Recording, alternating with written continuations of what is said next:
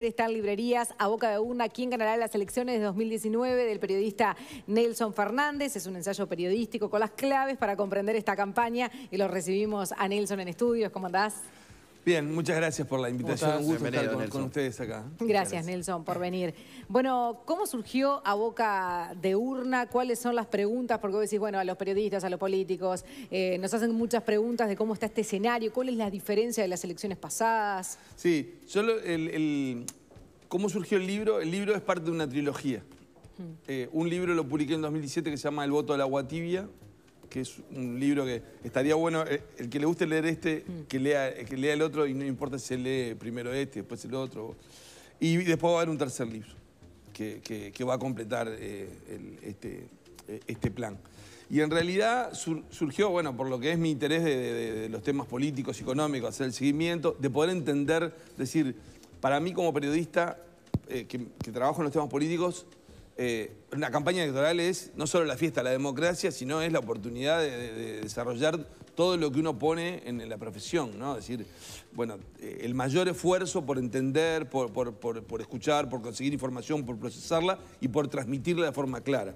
Eso es como una cosa muy pasional que decir, bueno, eh, esto lo voy a hacer a través de distintas... de distintos soportes. Pero es predecible la política uruguaya en unas elecciones. Sí, bueno, yo el, libro no es una bola de cristal de decir va a pasar esto, pero, pero sí intenta dar la respuesta a esa pregunta que en todos los lugares que vamos los periodistas te empiezan a hacer preguntas y después sabes que en un momento viene, ¿y quién va a ganar? Sí, ¿Y eso parte, Nelson, del conocimiento del sistema político y su funcionamiento o también de la interpretación de la sociedad y cómo reacciona en los distintos momentos. yo creo que hay una cuestión de, viste, eh, la gente cuando, cuando agarra un periodista deportivo viene un, clásico y dice, ¿y quién va a ganar? Y bueno, no, sabes quién va a ganar. ¿Y pero qué va a pasar con el dólar para el economista? Al economista, ¿cuánto va a estar el dólar el 31 de diciembre? Bueno, a uno a mí me pasaba, en asados, en reuniones o en presentaciones que hago, yo expongo, hago toda la análisis y después, ¿y quién va a ganar? ¿Y qué responde? ¿Quién va a ganar, Nelson? Y la respuesta ¿Eh? está en el libro. Ah, no me dijiste que no era una bola de cristal. Pero no es una bola de cristal. Ah. Pero ese es el asunto. Entonces, el, libro no es una anticipación del futuro. Es explicarte cómo va la, elección. Y yo digo, antes de publicarlo, lo, dimos a cinco personas para que lo hicieran que están muy empapadas en temas políticos. Y dije, uy, ahora entendí determinada cosa. Y esa es la satisfacción de decir, bueno, el libro se propone entender. El libro es un libro corto, ágil, pero es producto de una investigación muy larga que cuando vimos cómo se iba a publicar era un librazo para estas épocas difícil. Por eso decidimos con la editorial eh, concretar en, este ensayo. Porque lo que hice fue estudiar cada, a lo largo de toda la historia de Uruguay cómo se eligió cada gobierno, cómo se eligió cada presidente. Desde el primer caso que no, era Uruguay como tal, pero ya era un Estado reconocido independiente, que se elige un argentino. O sea, para, no, para, que la, nación, para que el Estado naciera sin el conflicto del choque, en las reuniones de, la Asamblea General se decide, busquemos un argentino. Y se elige a Rondó. O sea, esa es la primera elección que era indirecta. Y después la primera elección de presidente es una elección que uno, si mira la historia, era cantada para La Valleja. ¿Por qué gana Rivera y no La Valleja? Bueno, entonces esa inquietud me empezó a llevar a, analizar por qué ganó cada presidente, por qué ganó cada gobierno. Y lo otro, ahora lo hablábamos en, la tanda, uno a veces ve que se simplifica. Entonces la gente dice, ah, el voto que el bolsillo pronuncia. Eh, la economía. Si fuera así, no se empezarían a hacer elecciones, miraríamos cómo vienen ¿Y qué es lo que toma en cuenta el, que vota? Y la economía es un elemento muy importante, pero hay un conjunto de elementos. Y, ahí lo, que Jaime decía, si, acá en Uruguay es predecible, en Uruguay hay algunos factores que te ayudan más a entenderlo y a, analizarlo que en otros lados, porque en Uruguay tiene partidos estables. Cuando vemos el sistema de partidos políticos, los partidos Nacional y Colorado vienen desde el nacimiento de la República prácticamente, y el Frente Amplio nace en el 71, pero no nace de la nada. Es una conjunción de alianzas que arrancan con los partidos, las primeras ideas anarquistas socialistas que vienen desde fines del siglo XIX y en 1910 se funda el Partido Socialista. También tiene una larga historia. Y del Partido Socialista sale el Partido Comunista, salen todos los sectores. O sea, el Frente Amplio no nace en el 71 es la unión que se concreta. Ahora, Nelson, para, para, sí, para toda esta historia, estas elecciones en particular, eh, ¿son elecciones eh, especiales? ¿Tienen algo Sí, diferente? son muy ¿O lo especiales. son, son especiales? Son muy especiales. Porque aparte yo, al analizar toda, creo que hay, hay tres elecciones, forma parte de tres elecciones muy especiales, que son la elección del 58, cuando los, los colorados gobernaron durante 90 años y se, y se percibía esa elección con una atención especial, porque era cuando los blancos podían volver al gobierno, Ajá. ¿no? y, y la primera elección por, por- por voto directo, ah, que, que iban a ganar los blancos. La otra elección eh, fue la del 2004, La del 2004. donde el Frente Amplio nunca, la izquierda nunca había llegado y, y podía ganar. Y ahora donde el, el- el Frente Amplio, que llegó al gobierno, y uno dice, ¿cómo llegó? Bueno, ¿cómo, surgió? ¿Cuál era la idea de- de- de- de- del pensamiento socialista? Es decir, bueno, nosotros somos el pueblo, vamos a gobernar para el pueblo, tenemos que tener paciencia para llegar. Unos decían eso, otros querían algún camino eh, Sí. con atajos, pero, hay- pero el día que lleguemos, el pueblo no nos va a sacar, porque vamos a gobernar para el pueblo. La sensación de que se puede perder por las urnas, o sea, nos podrán sacar con un golpe de Estado, pero no nos podrán sacar por las urnas. Pero no porque nos queremos eh, eh, quitar el poder, y quedar, sino porque somos el pueblo, gobernamos para el pueblo. Hago una simplificación del razonamiento. Entonces, la elección de riesgo para el Frente Amplio la convierte en una elección muy Especial. muy especial. Eh, Ahora, eh, disculpa, sí. porque hoy cuando eh, no le preguntaba cuál es el elemento, la, la economía es uno, pero en realidad las elecciones se definen como un mercado, oferta y demanda. Por un lado, en oferta está el candidato, la fórmula, el partido, el sector, el programa de gobierno, las ideas fuerzas, la campaña publicitaria. Eso está por el lado de la oferta. Y por el lado de la demanda está la gente con sus preocupaciones, sus inquietudes, inquietudes puntuales, eh, la- ideas. o sea, Personales, colectivas. eh, contexto externo. El contexto externo influye muchísimo. Uno cuando ve Uruguay ha seguido las olas políticas, y eso yo lo relato en, en el voto del agua tibia, capítulo especial, y acá también hay, hay una parte especial, cómo se reproducen los movimientos políticos. Pero hay inquietudes particulares. La economía es una, no es la única. En este caso, por ejemplo, vamos a una elección donde el principal problema para los uruguayos es la seguridad. Desde hace más de 10 años. Entonces, cuando pasa tanto tiempo que está instalado un, un- un problema como el principal problema, eso tiene una incidencia Claro. muy fuerte. Eh, Entiendo. Eh, Nelson, ¿y, y vos creés que el resultado electoral, más allá de que en términos políticos eh, resulta crucial o una encrucijada, va a determinar mucho lo que pase en Uruguay a partir del 2020 o eso no tanto? ¿O ese voto Sí, del agua no. tibia también nos lleva por un camino eh, que no es tan eh, diferente? eh, eh, es, so- se abren dos Es una caminos. encrucijada. Vamos a una elección muy polarizada, pero con una particularidad. No es una ele- elección polarizada entre dos partidos. Es una elección polarizada entre continuidad o cambio. Claro, Así pero- lo va a presentar la oposición. El Frente Amplio lo va a presentar de, de qué forma? Es seguir cambiando o volver atrás. Ajá. Pero digo, es una elección, una elección que se polariza entre dos caminos. ¿Y esos- tiene otra particularidad, que es que los dirigentes políticos en general siempre han hablado de la solidez del sistema político uruguayo y de partidos con básicamente Frente Amplio, Partido Blanco Colorado, Independiente y, y alguno más. Pero ahora tenemos la novedad de el fenómeno Sartori, Partido de la Gente y Cabildo Abierto. ¿Cómo analizar ese fenómeno? Bueno, e- eso es muy interesante, Jaime, porque ahora cuando decía en la elección especial, es una elección muy especial Y el regreso de Sanguinetti. Bueno, Bien. porque la sociedad cambió. Y ahí, mira, mira qué, qué particular. En cada elección surgieron partidos nuevos. O sea, a lo largo, yo, yo registré todos los partidos políticos. Es impresionante la cantidad de partidos políticos que... Claro, pero muchos son testimoniales, aparecen y desaparecen. Generalmente siempre fueron testimoniales. Hoy aparecen algunas expresiones que, que- que están dando otra sensación, ¿no? Porque decir, un partido, surgían partidos que después Sí, claro. no tenían ni un cargo legislativo, ¿no? La- Las bancas siempre... Ahora estamos en una elección distinta, pero, está pero hay un cambio en la sociedad que incluso es, es un desafío para el periodismo, para analizar, y es un desafío para los encuestadores desde cómo, cómo Claro. preguntar Claro. y cómo ocultar la, la opinión pública. Pero fíjate una cosa es, en cada elección además hay una novedad.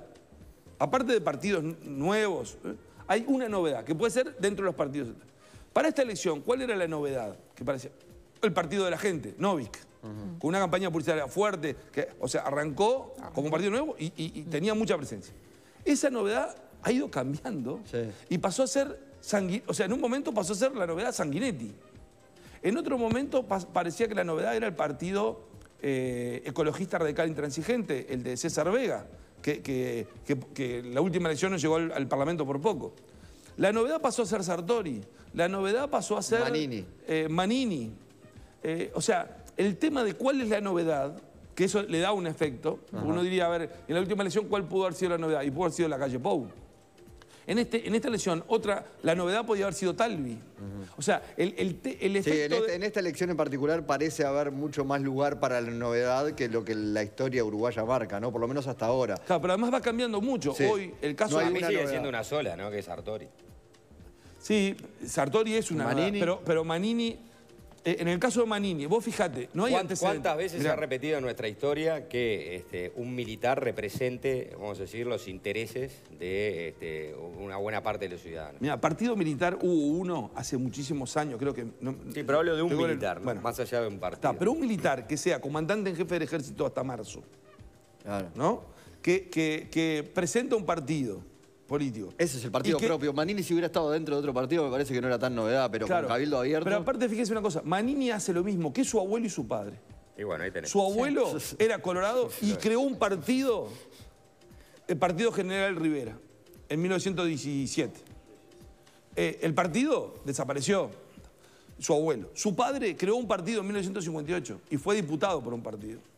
Ajá. Pero, pero se sentía colorado. O sea, cuando hablaba en el Parlamento, decía los colorados y alguno le gritaba, "Shh, cállese, que ustedes no son colorados, pues se fueron. ¿no? Manini repite eso, pero repite con un arranque muy auspicioso. Hoy está midiendo muy bien en opinión pública, en popularidad, en intención de voto. Ahora, intención de voto no es voto. Sí. Hay que ver qué pasa después en la elección. De acá a octubre, además falta, falta un camino largo todavía. Falta un camino ¿no? largo porque ahora mucha gente se entusiasma diciendo, este va a ser nuestro presidente. Después cuando se dé cuenta que es un lejos. éxito midiendo bien, pero no tiene chance Sí, de ser 5 o presidente. 6%, que es, que es muchísimo para él, pero que lo pone lejos de Eh, En la una carrera. elección que se polariza hay que ver qué pasa. Pero en realidad tenés muchas novedades. Pero yo, vos sabés que eh, le- les quería comentar una, una novedad que encontré cuando la, in- la investigación, digo, es, la pregunta siempre es quién va a ganar, ¿no? Y nadie se pregunta, ¿qué pasa si hay empate? Nadie bueno, es, es estadísticamente casi imposible, ¿no? Ah, tenemos dos casos. Un caso es muy particular porque era de votación indirecta. Sí. Hasta 1922 se votaba Claro. en el Parlamento. Pero hubo un empate. ¿Y cómo se resolvió? José Yauri y Domingo Piñeiro, el 15 de febrero de 1873. Se elegía el presidente del Senado y iba a ser el presidente de la República. Por sorteo. Por sorteo, ¿Vieron la monedita? Papelito. papelito. Pero hubo otro empate, que es muy interesante cómo se resolvió. Porque la Constitución no prevé que se No, hace. claro. Presidente por papelito. No, claro, pero en este caso no fue presidente, fue intendente de un departamento, de Durazno. Y el nombre le va a decir algo, además, el nombre. Fue en la elección de 1946. Empataron. Hacen el justillo, empate. Ahora me dice que es por la ramita más larga. ¿Cómo y- se resuelve? ¿Cómo se resuelve? Entonces hubo que hacer un acuerdo político. Vamos a hacer un acuerdo político. Vamos a anular tres circuitos que hubo irregularidades que no había oído. Eh. Y votamos de vuelta en eso. Yo vos sabés que ayer lo comentaba con, con un compañero, con Mauro Betti, y me decía, esto es es un guion para una película, ¿no? Y Sí, sí. Con Andrés Borges hablábamos y decía, es un... Porque, ¿qué pasa? Hay que repetir la elección en tres circuitos, tres mesas. O sea, eran 797 votos. Y los, los candidatos fueron casa... el- con cada uno. Hablaron Claro. con cada uno. A uno lo trajeron de Buenos Aires. Claro, pero alguien cambió el voto. Porque si no hubieran seguido empatados. Bueno, eh, ganó Silvestre Landoni del Partido Nacional a Huáscar Pa- para, Parallada del, de- del Partido Colorado. Mirá. Pero repitiendo solo tres circuitos, ¿no? Después bautizaron el estadio de Durazno con el nombre. Por eso te decía el nombre. Sí. Claro. Bueno, pero en realidad, las por eso yo cuando digo es, las elecciones no tienen nunca un motivo especial causal. Sí. Ahora, pueden pasar episodios que, que- que cambien. Yo, en el libro, lo, lo- lo que tratamos de analizar es, bueno, vamos a una elección. Es una elección de, de- de- de polarización. Sí. ¿Qué se polariza? ¿Qué pasa con el gobierno? ¿Cómo, ¿Cómo ha conducido el gobierno? ¿Qué pasa con la gente? ¿Qué pasa con el, el partido de gobierno, el Frente Amplio? ¿Qué pasa con la oposición? ¿Y qué pasa? Hay un capítulo que se llama Ese viento que sopla, que es con el, el- el contexto internacional. Claro. Bueno, y con el contexto inter- internacional, además que compartimos la fecha de las elecciones con Argentina. ¿Qué Bueno, pasa ayer ahí? estaba el embajador. Bueno, ahí tenemos un, un- un asunto que eh, el problema argentino eh, puede ser usado por el Frente Amplio como un espejo. ¿Por qué? Está usando el Frente Amplio. Claro, pero, pero ¿qué es lo que pasa? Los gobiernos muchas veces dicen, hicimos esto, hicimos esto. Y otras veces dicen, también evitamos esto. Es parte del discurso del Frente Amplio, del gobierno, cuando se, se dice, nos acoplamos, se miren los vecinos, miren Argentina. Pero a la gente le cuesta ver cuál es el resultado de lo que se evitó. Si Argentina va mal, para el Frente Amplio es mucho más fácil decir, lo que evitamos es eso. ¿viste? Porque eso se hace visible. Y para Uruguay, Argentina se hace muy visible lo que pasa en Argentina. No tanto lo que pasa en Brasil. ¿viste? El fenómeno de Bolsonaro tiene un efecto en el norte donde hay un interés en los países fronterizos. Pero el, el- el contexto, cuando uno ve lo que son las olas, es desfavorable para el Frente Amplio.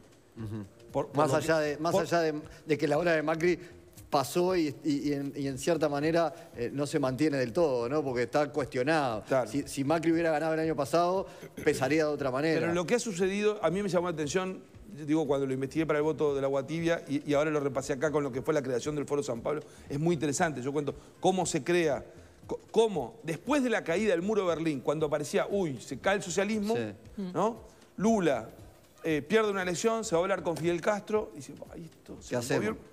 Dice, ah, bueno, acá hay que repensar esto y hay que armar la unidad de las izquierdas latinoamericanas y se hace con un gran éxito Político en, en- en el, el- el acceso al poder en, en prácticamente todo el Y continente. se va replicando en todos los países y después viene un, un repliegue. Del- de los que quedan, bueno, Venezuela en, en una situación... eh, Anormal por todos lados. Anormal por todos lados. Bolivia, donde hubo un referendo que salió, que, que no puede haber reelección y Evo Morales dice que eh, acudió a la Suprema Corte, dicen que es un derecho humano presentarse todas las veces que quiera, ¿no? Todo, de por vida. Y, y va a haber, pero, pero, es un, pero, pero es un gobierno que, que mantiene Lo está haciendo bastante bien en la parte de- de- económica, ¿no? ha tenido un resultado distinto a los otros y, y queda Uruguay de, de- de toda, de toda esa ola. Por eso la, la elección de Uruguaya es importante no solo para Uruguay, sino para la mirada, digo, porque en otros países dicen, oh, perdieron, pero tienen la, la expectativa de, de- de volver gobierno de Claro. la izquierda. Nel- Nelson, retomo un poco lo que te preguntaba hoy respecto a, a los caminos, porque vos me decís, eh, es importante la, la- la encrucijada entre continuidad eh, o cambio.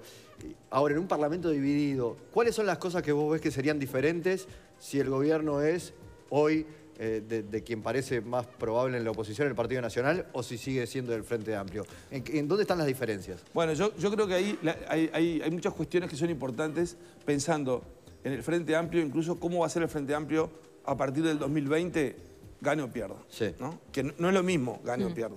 Pero, pero ¿cómo Porque el Frente Amplio tiene unos 30 grupos formalmente con- constituidos en el plenario, pero tiene cuatro bloques. Partido Socialista, Partido Comunista, MLN, Tupamaros, MPP y Socialdemocracia, Social Cristianismo. Ajá. Es, el, el- el éxito del Frente Amplio ha sido, y ahí sí hay un patrón común que se repite en, en todas las victorias electorales, es unidad con diversidad. Siempre ha ganado el partido político que ha ofrecido mayor unidad y mayor diversidad. El Frente Amplio logró una unidad de izquierda, como no logró ningún otro país, es la, es la experiencia de izquierda, de unión de izquierda más exitosa de América Latina, pero muy amplia. Ese es eh, eh, el éxito, porque desde su nacimiento incorporó al Partido Comunista y al Partido Demócrata Cristiano. O sea, a- bueno, eh, ¿el Frente Amplio de ahora mantiene el equilibrio o se corre a la izquierda? Yo le- les traje unos numeritos que están en el libro, pero A ver. fíjense, la gente dice, en Uruguay no existe la derecha. No hay nadie de derecha. Si vos preguntás, ¿hay alguien de derecha? No hay nadie. Bueno, ¿Cuánto es la derecha? Efectivamente, la derecha es, poco. La derecha es 8%. 8% tomando encuesta. Acá est- estoy tomando la encuesta de 2017, ahora les, Sí. le- les digo brevemente lo de 2017, la, la nueva. 8% y 12% de centro derecha, no se mueve mucho. O sea, 20% es derecha y centro derecha. ¿Cuánto era izquierda? E- En este momento fuerte del Frente Amplio. 28%. No es tanto más. Claro.